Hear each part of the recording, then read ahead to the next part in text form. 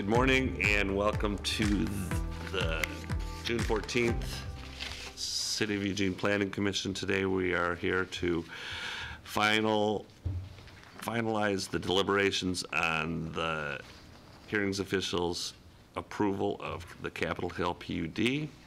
I'm John Borowski, I'm the chair of the Planning Commission. We'll go around for the record. Kristen Taylor. John Jaworski. Bill Randall. Stephen Baker. Staff? Lauren Summers. Gabe Flock. Nick Troiello. Alyssa Hanson. All right, thank you. Um, We received a preliminary findings report that was put together by staff yesterday evening. Um, I've had a chance to look at it. Has the rest of the commission had a chance to look at it? All right, with that, then I will let staff uh, explain what they've done, and we'll probably just step through these changes, the highlighted ones, one by one, and see if there's any issues that any of the commission has with them. First, I want to say thank you to staff. Um, This was a Herculean effort, Um, so thank you. I think you did a great job. So I appreciate it. So I only had, I think only one, let me double check. So um, where my question, uh, do you want to go in order, or do you want me to? I was going to let staff kind of talk us Oh, through it. sorry about that. I thought we were just jumping in. Yeah, Okay, go for it. all right. So, right, so we prepared a draft final order for you to consider and uh, put that out on email last night. Um, We uh, also have the document available so that we can make changes today on the fly. Hopefully, since everybody's had a chance to read it, if there are specific edits, um, we'll be able to accomplish that during the meeting if need be. Um, We've provided some highlighting throughout the document to really focus your attention on the areas that um, we had clear direction from the commission on to either um, add text or modify the hearings official's decision to add conditions of approval. Uh, And so we believe um, that it uh, um, reflects the direction you've given on each of those key issues. Um, That said, I mean, it is a 44-page document. Uh, It addresses all of the appeal issues thoroughly, uh, we believe. And so if there are other areas, uh, certainly your discussion and decision um, is not limited to those highlighted areas. But we thought we might just walk through each uh, of the uh, yellow highlighted areas first um, in order and just make sure that it reflects um, the um, the will of the body. Thank you. And, uh, yeah, and that would be good for the people who are watching or, you know, other people who haven't seen the document. So the first one is uh, page five of the document. Uh, This one's about, very simple one, to change a line on page 14 of the hearings official decision. Uh, And you can see the sentence there is, "The planning staff have identified the three following policies within the Metro Plan residential land use and housing element as," and you directed us to remove approval criteria for, and then replace it with relevant to approval of the proposed PUD, and then the sentence continues on. And I'll just add, I appreciate Commissioner Taylor's um, uh, sharp eyes and noticing that that reference in the hearings official's decision, um, because uh, uh, as staff understand is, they're not mandatory approval criteria, they're really more directives to the city with regard to legislative matters, but we still um, are uh, regularly in the practice of considering any relevant policies, and um, in the event of an appeal, a further appeal, uh, this pr- more precise language is helpful, we believe. So Thank you. Right? Yeah. All right. Anybody have any problems with this one? All right. The next one is um, page nine. I can get there. There's a little bit of lag on this for some reason. Still acting up.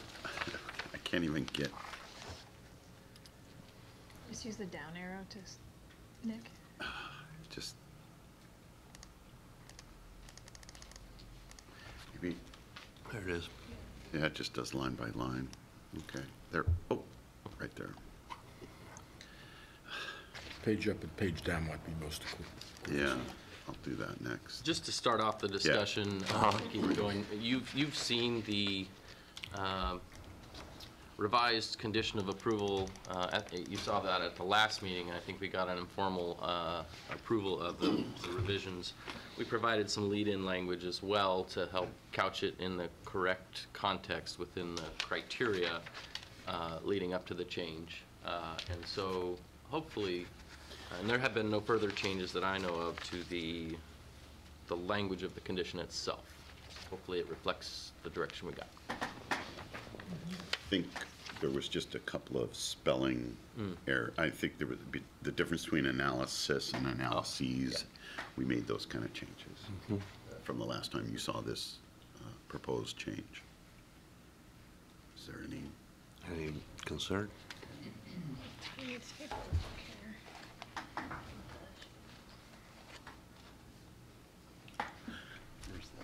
okay, so, oh, we got- There's An an extra the, yeah, take thought out?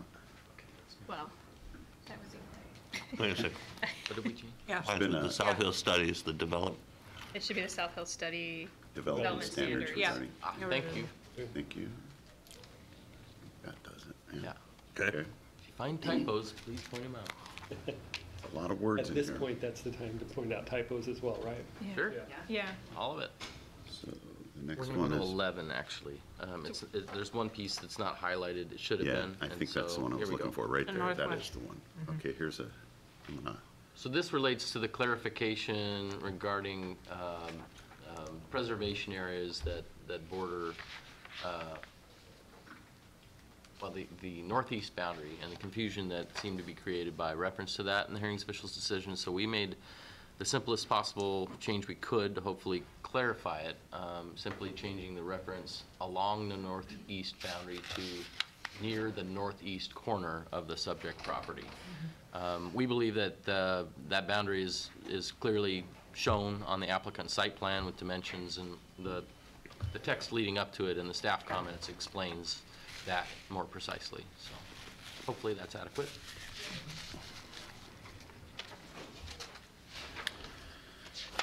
Okay, so moving on to the next one. Page 20. And it's not responding.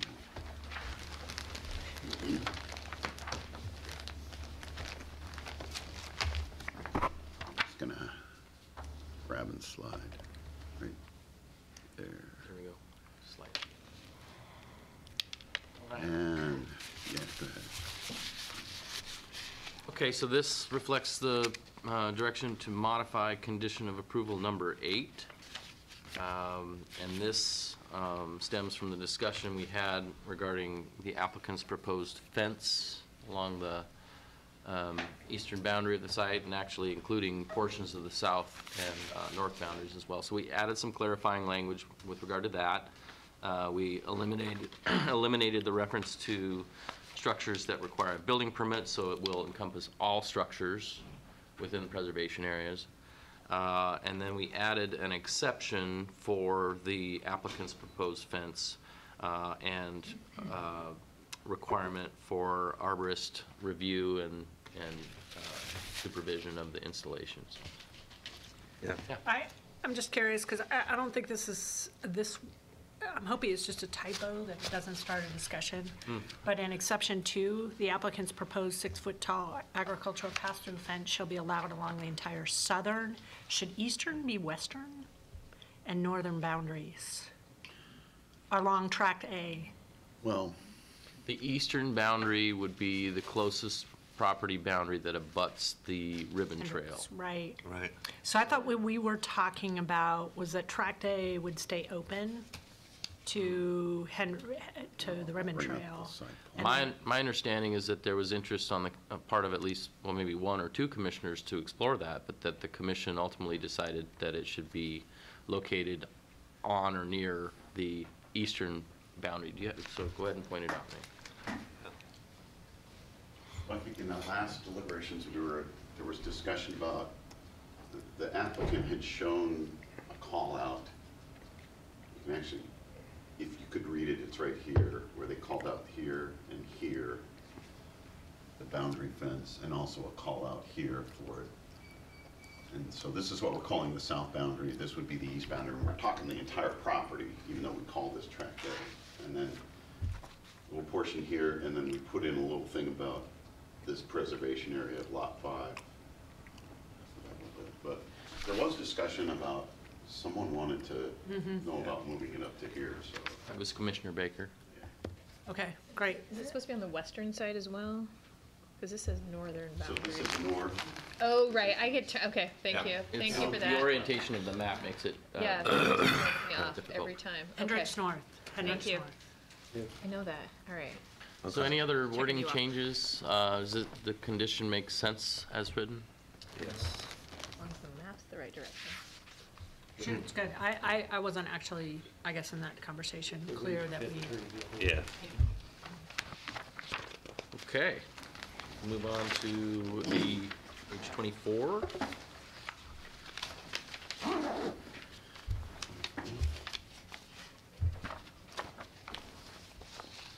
So this section is um, uh, work that we've done since the last meeting in our um, discussion about the uh, condition of approval related to street improvements adjacent to lots 18 and 19, uh, including uh, uh, sidewalks and 21 foot of of paving width. Um, We have provided reference to materials in the record and some rationale that leads to it. Uh, As as far as justifying it, we've also provided some draft uh, constitutional findings for the required improvement, uh, and um, city attorney's office has um, assisted with that to help make sure that it's a defensible exaction. And so I guess I'll leave it at that and see if there's any questions or discussion. Uh, on page 25, third par, um, sorry, third paragraph under constitutional findings for required improvement, Hmm? where it says 20, 21 feet, it says 21 feet and width. I think you just want, you've been using and throughout, so I think the width is extra. Either the and or the width is The extra. width right before five foot. curb. Sorry, yeah, 20, so the requirements improve the portion of Capitol Drive shifting da-da-da-da with a paved width of at least 21 feet and width. So you either want and or width, I think. I don't think you want and width. At least. You're least, suggesting perhaps I taking don't out know. the word "and"? Or with, because Yeah. you've Take out- actually used width, and because and throughout, means and it's then all of a additional. sudden. Yeah, Because with would could. I would take out could be with. Yeah. Confusing. Um, there may be multiple references. There are, but you're consistent throughout with just and. That's the only one, that's the only one with the extra width. Oh, thank you. Yeah. So you, you use and First paragraph many has just and. times. Yeah. Thanks. So is it helpful? And that's where I went back and forth, because to me, it's very clear. Does it ever need to see a total of 26 feet? Because you basically have 21 feet of paving. So just so there's clear that you're having 21 feet of paving plus this sidewalk at five feet, right? So you're meeting 26 feet. You're not meaning 21 feet, my, including the sidewalk. Trying to distinguish the paving for the travel lane Exactly. versus the the the sidewalk width. Great. Um, And if there's any question there, we, we, uh, in terms of the available right-of-way width, it's, I believe it's 50 feet wide. and- Yeah. And the current roadway is actually shifted uh, to the, to the west. um, Yeah. So there's substantial room, albeit a steep slope there. Uh, There is more than enough at, uh, right-of-way width, I think almost as much as 20 feet. um, Yeah. To, to make those improvements that's unimproved now. So plenty of room. Yeah, it, it's not about that. It's more that there's really clear understanding. It says a width of at least, so uh, maybe Did you want- at least a minimum of 20 feet, 26 feet of right-of-way. I don't know if it's needed. Commissioner Taylor, I take your point. I think, I'll explain what we were trying to do and Great. tell me if that um, answers your concern or addresses your concern. So um, I think the key word for me in reading through the condition is the paved width of at least 21 feet. Yeah. And so that, that to me denotes the travel lane and then an additional five-foot Perfect. sidewalk. I just wanted to make sure, I, I think it's clear. I also know that it, the code often will split up. They'll do a total plus the divisions of what the parts and pieces are within that right of way. So I just want, if, if you feel like it's clear, I read it, I thought it was clear, but if there's any suggestion, then you could just see, My, I mean, It's up my one you. thought about um, limiting the total width to 26 feet is that, my understanding from planning commission's discussion was that we, you know, you knew you wanted the five-foot sidewalks because that is the same requirement as higher up a Capitol Drive. right, Um, And that you wanted a traveling width of at least 21 feet. Sure. But if the design was such that the, tra- it made sense for the traveling width to actually be a little bit wider. Right. Yeah. That wouldn't be a problem for the planning commission. So I didn't want to limit, sure, and I'm not suggesting limiting it, so just so you hear me, it would be a minimum oh, I see. a minimum. So it would do the same thing, it's just repeating it with a total dimension, that's it. And if you don't think it's needed, don't worry about it, I don't need to bring it up. I- I don't think it's needed. Okay, perfect. So Gabe brought up a point that wasn't brought up when we were discussing this, hmm. and the fact that, that it's a steep hillside. I guess the question I would have is, one, is that an area that's a hun, above 901 feet? And, and then, I guess, it's not, okay, well, then that was one of my questions, because, and so you, it sounds like it might have more grading and impact on tree. S- So we kind of didn't really talk about that when we, Well, uh, to be clear, it's all within existing right-of-way, which is Okay. unzoned and Okay. is regulated by the city's Public Improvement Okay. Design Standards Manual. It'll be reviewed thoroughly, we, you know, as part of the privately engineered public im- improvement permitting process. Yep. And so um, that would be the point at which specific design and construction details get, get hammered out. okay. And then the other thing is, um, I read through the constitutional findings. Do you feel that these are adequate to be defensible? I do, I mean, Okay. we did our best Uh, um, to draft what we believe are defensible findings, yeah. Okay. Any other discussion? All right. Uh, let's see. Going down to page 34, I think, right? 33. So this item is um, the additional condition of approval related to maximum lot coverage for all lots um, being 50%. We added the, the um, clarification that square footage of any preservation area shall be excluded in the calculation of lot coverage. And so rather than identifying individual lot numbers, this, this was a simple way to capture any lot that may have a preservation area to make sure it's not included in, in the lot coverage.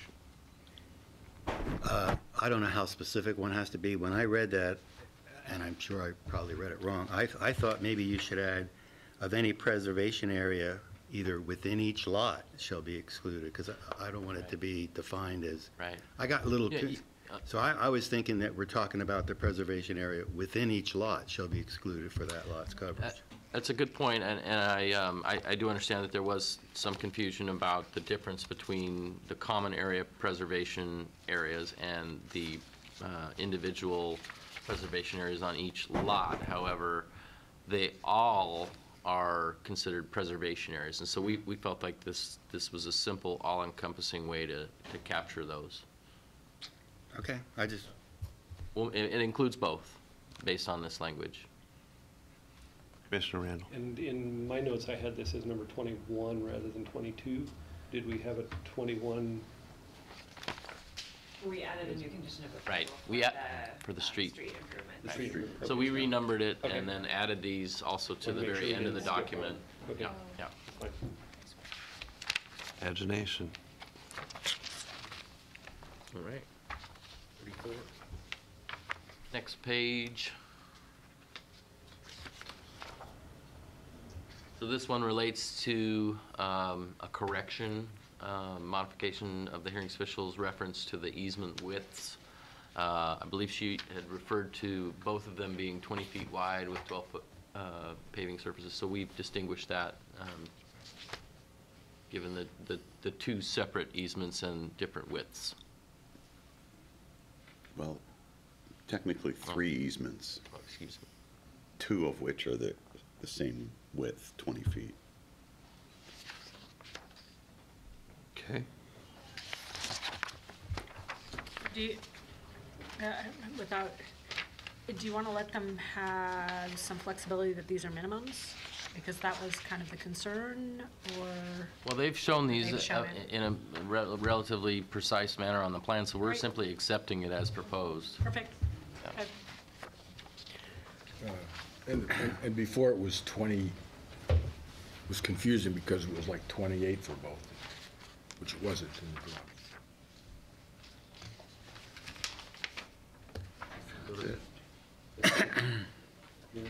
Okay. That was the last one that I saw, Yeah. yellow.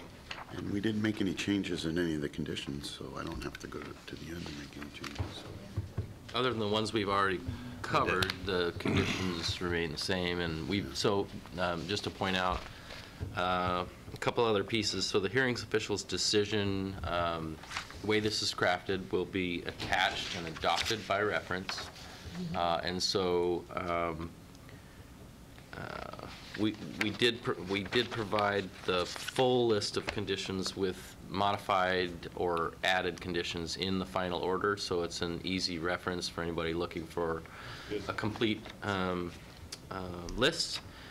And I think with that, um, what this does is reflect the direction to, um, to affirm with modifications. Um, So I'll leave it at that. Uh, do you want a motion now? Yes, definitely need a motion at this point. So I move to affirm the planning, the hearings official, Well, Should we accept the changes first? Well, I'm going to do it in my motion. Why can't we just adopt the final order as presented? Okay, whatever, We can do both. I was gonna Yeah, sort of I- add that. okay.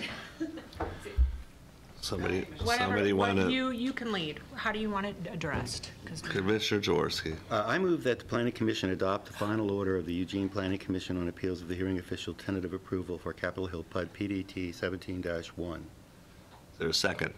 Second.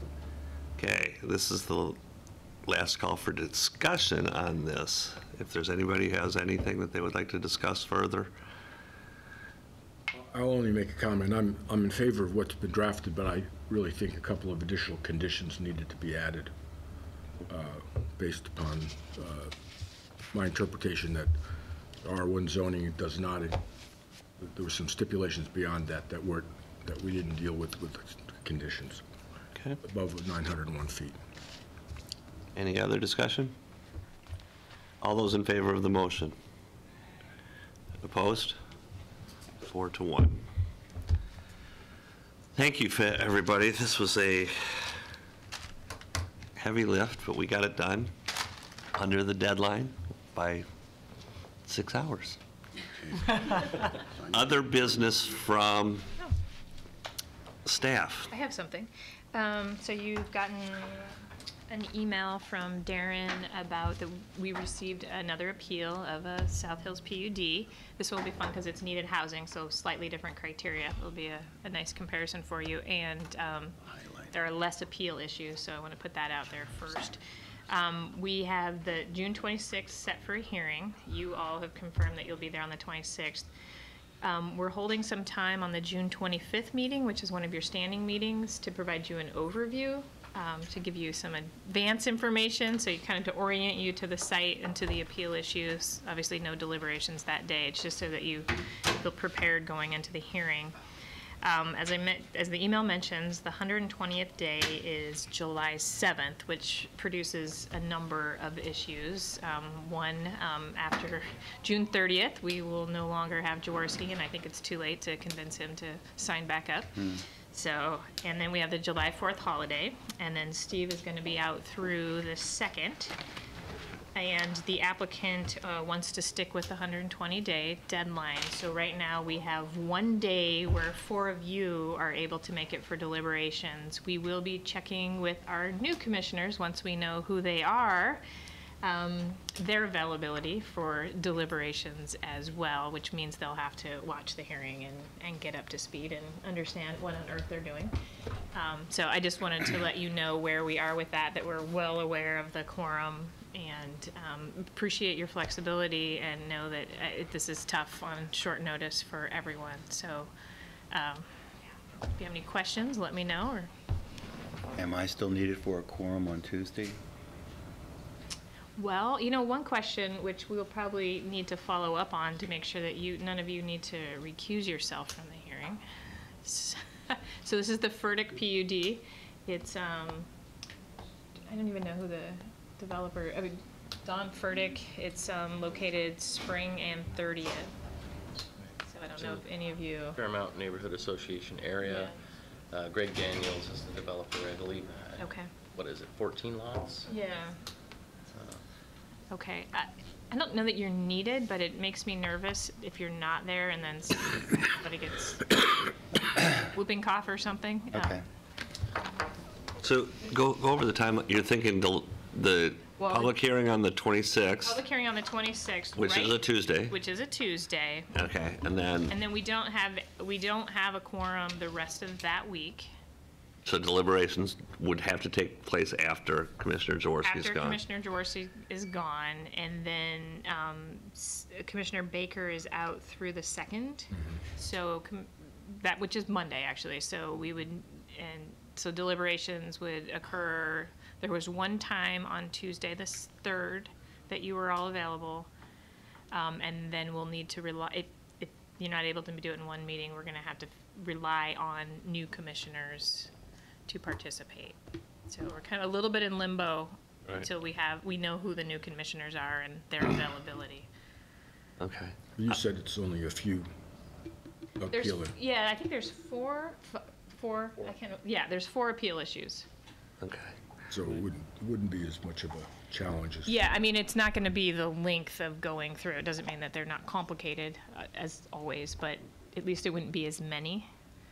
I was just concerned because I'm gone that whole weekend, Friday through Sunday, as far as reviewing anything before a Monday or Tuesday. The, the, uh, which week? That, uh, through July 1st, that weekend. oh, okay, okay, out of town. okay, And I'm not going to be reviewing planning commission. okay, well. Commissioner Baker? I was just wondering, is, since you already have the hearings official find, findings, Yeah. is it possible to, even though it's before the hearing, is it possible to mail copies of that out or something in advance provide the planning commission with a copy of it. for background? Yep. I mean, that way, we, I could send you that and the appeal, the, the appeal Yeah, and the appeal, issues. At least yeah. you'll have that, and then the staff analysis is, it's gonna take us a couple of days since the that's appeal okay, came but in at least late that way yesterday. we're we're aware of the Okay, that's great. I mean, and, yeah, we're trying to figure out the best way to facilitate this, and I think as soon as we know who the new commissioners are, we will That will be the, approach them and do a little training. the 25th, they'll be announced officially. Right, that night, yeah. And so I would, this is, this is my take, I would try, I, I would try and contact them, um, and then let them know that they're free to attend the public hearing and sit in the audience, um, because they're going to be seated commissioners come the, the meeting under, on deliberations. So, no matter what, if they're, if, you know, they could say, I'm, I can't, I don't, I haven't watched it, or I'm not ready, but they're, they're gonna be part of the quorum Okay. on the, the Yeah. third. They can also listen to it afterwards, Yeah. but encouraging. Yeah, I mean, it's they great. may want to Informing 'em. participate, Yeah, so, yeah. and I don't, I don't, it usually, I think it's unusual that we, we'd think that we could get through even, a s- you know, a less uh, long appeal in one day, so we'll probably have to schedule a second day to Mm-hmm. do something like this. Um, Yeah. And they will need to be, they will have to participate in that particular day, so. And I guess on that evening of the public hearing, if we, the rest of us know for sure that we are going to be there and that we'd have a quorum without Commissioner Jaworski, it would be nice to release him from attending. Agreed, since- agreed, so Text I think we or can. send him If a we quick have, if we, if we know we'll have a quorum uh, without him, I mean. Yeah, I I support hate to that, make it- so. No, I think we should have like a nice, a crown that he can wear or something at I that. would have already read the material. It's gonna be a Yeah, surprise. I know, that's true. Well, y- yeah, Just to confirm, Mo- Mondays here and Tuesdays at Harris Hall? Monday, yeah, the 25th will be here. It's a normal meeting. There's other agenda items, um, just kind of tacking this on at the end, and then the 26th, we are confirmed at Harris Hall, Okay, 6 thank you. o'clock. So, so we'll, we will send the HO decision and the appeal to all of you. And I guess kind of coming back to that, do the four of us know for sure that we're going to be there on the 26th? Because if we do, then it would save him reading all that too. Agreed, unless there's somebody, I mean, it's such, a- it's so tight, it always makes me nervous when Yeah. there's just Yeah. four if, I you mean, know. I- I'm coming back on a plane on the 25th, so Uh, it's, Okay. a s- Yeah. you know, Okay. assuming I that can't- there's not some No, that's, We'll bring you an additional treat. Well, What do you I I like? understand, because they both ride bicycles, so I'm always nervous about that. Right? All right, If you guys will drive just only between now and then, I think we'll be it's actually more dangerous to drive Okay. statistically. Okay, that's true. okay. And then, Yeah. So uh, uh, Commissioner Baker, I think if, if staff, just because sometimes mailing takes a little longer, and to get to your point, if you guys can just send the file number, you know, all this information is on the city's website, so you can Well, we access can, it. we can and- email it to you as well. Yeah, I mean, we yeah. can That's what email I you thought they the. would do is email it, so we wouldn't have to. Yeah, Yeah, yeah. yeah, I will, we will have the, the planner who's working on Because they're that, not email that, it to you. these, these can't be that No, big. no, I understand, it's just that, know that we don't have to wait for it Yeah. to be brought to us. Okay, yep, absolutely. So I, we will, we will send the HO decision and appeal issues to all of you via email today or tomorrow, and then we'll work on asking the new planning commissioners to, if they can attend the hearing, or at least kind of get them prepared for their new role, and Yeah. we're jumping them, yeah, they get to jump right in, so, Sorry, one more. okay. Because there's still uh, neighbors in the, in the audience, uh, or in the audience, way out there in the audience is, what's the, the timeline? So in terms of, we just made a decision, what's the appeal period? What's the remainder of the process? And you're talking about for. Capital For Hill. Capitol Capitol Hill. Hill, just so that there, there's information. So just briefly, there is a notice of decision required, and that'll be mailed out to interest, interested parties within five days of, of today's decision. Um, And from there, I believe it's a 21-day appeal period to the Land Use Board of Appeals? Yep, so this is the city's, the city's final decision on this application. Um, uh, If a party wants to appeal the city's decision, that appeal would go to the Land Use Board of Appeals. Um, There are Oregon administrative rules that are available online that do a great job of laying out the process for filing an appeal. Um, And the notice of decision will also include information about appeal deadlines and the statutory citations that folks can look at if they have questions about how to file an appeal. Thanks. any, any other thing from commission? We haven't really done commission and staff lately. Anybody have anything that they want to say? I think I would love to um, not use this as a planning commission meeting, since this was a emergency meeting. Yeah, I think that would be great. If we could end early, Yeah. that would be, Yeah, Yeah. All right. if you didn't get some coffee or a treat, please do that. With that, we are, clo- well, Thank you. Thank you all.